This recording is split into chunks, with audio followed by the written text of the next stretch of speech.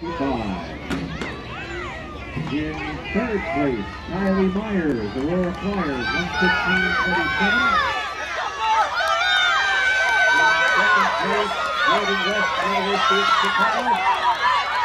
And in first place, Delores Biddings, ALN. Here's University of Chicago's Kira Phillips, followed by Nora O'Brien.